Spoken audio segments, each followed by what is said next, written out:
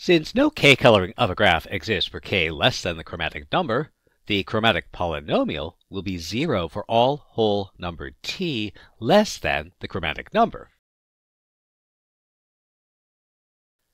So if we know the chromatic polynomial for a graph, we know its chromatic number. For example, here we have a graph with many edges, so let's find our chromatic polynomial.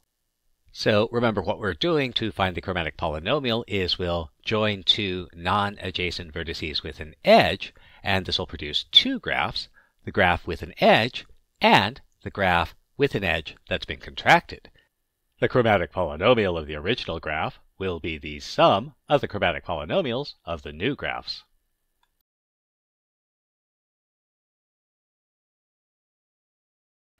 So let's start by drawing an edge between vertices 1 and 2 to produce graph 1, and then we'll contract the graph to produce graph 2.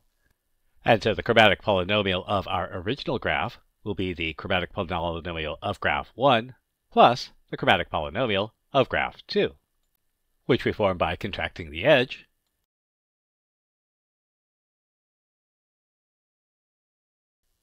Now, we don't know the chromatic polynomials for either of these two graphs, so let's go further.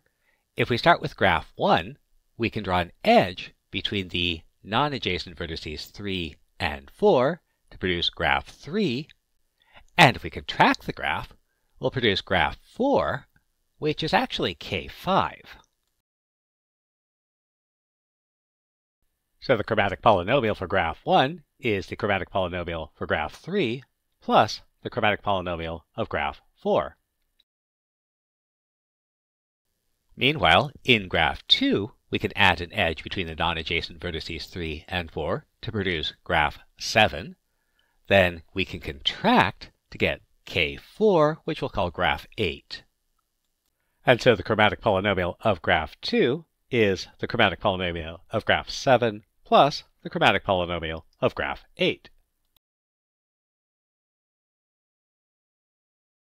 In graph 3, we'll add an edge between vertices 4 and 5, giving us k6, and we'll contract to get another copy of k5. And the remaining chromatic polynomials are to be determined. Now remember, graph 5 is actually k6, graph 6 is k5, graph 4 is k5, and graph 8 is K4. So we already know what those chromatic polynomials are, and so the only one we don't know is the chromatic polynomial for graph 7. Finally, in graph 7, we'll join vertices 4 and 5 to produce graph 9, and contract to produce graph 10, another copy of K4. So the chromatic polynomial for graph 7 will be those of graph 9 plus graph 10. So if we put this all together, graph 5 is actually K6, graph 6 is K5, graph 4 is also K5, as is graph 9. Meanwhile, graphs 10 and 8 are K4. So we could write our chromatic polynomial as a linear combination of the chromatic polynomials of K6, K5, and K4. And we can write the chromatic polynomials for the complete graphs, k4, k5, and k6. And that gives us our chromatic polynomial for our original graph. Note that the product t, t minus 1, t minus 2, t minus 3 is a factor of all three terms.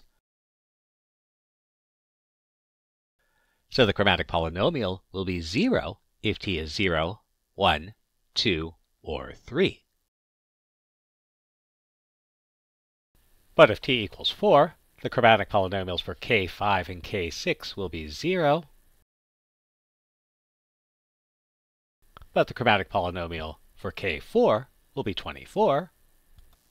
So our chromatic polynomial at 4 is 48. And that also means the chromatic number is 4.